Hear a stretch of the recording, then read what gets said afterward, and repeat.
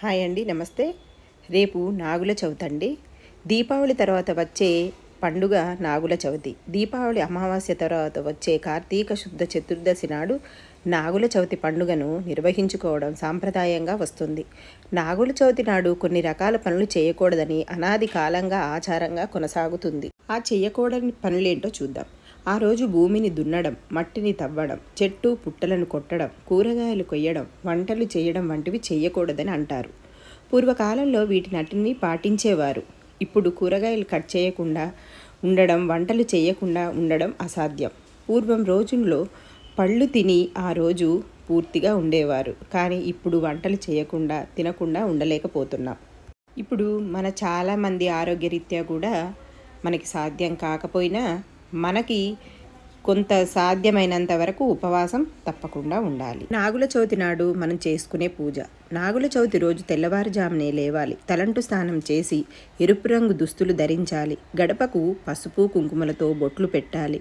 ఇంటి ముందు ముగ్గు తప్పనిసరిగా వెయ్యాలి పూజకి ఎర్రటి పువ్వులను వాడితే చాలా మంచిది. ఇంట్లోని దేవుని వద్ద దీపం పెట్టుకొని చలిమిడి చేసి చిన్న చిన్న ఉండలుగా చుట్టాలి. అలాగే నువ్వులతో చిమ్మిలిని చేయాలి.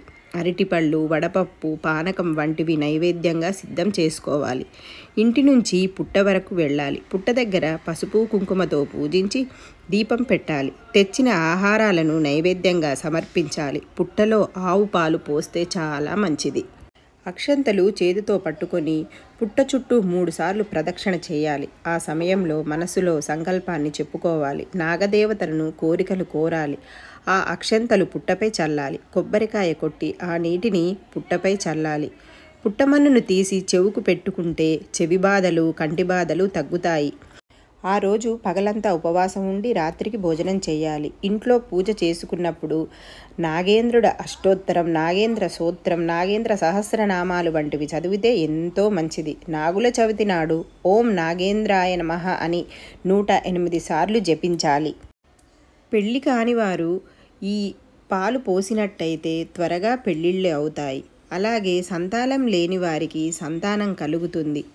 జాతక దోషాలు ఉన్నవారు పుట్టలో పాలు పోసినట్టయితే దోషాలు తొలగిపోతాయి. అంత మంచి ఫలితం ఉంటుంది ఈ నాగుల చవితికి.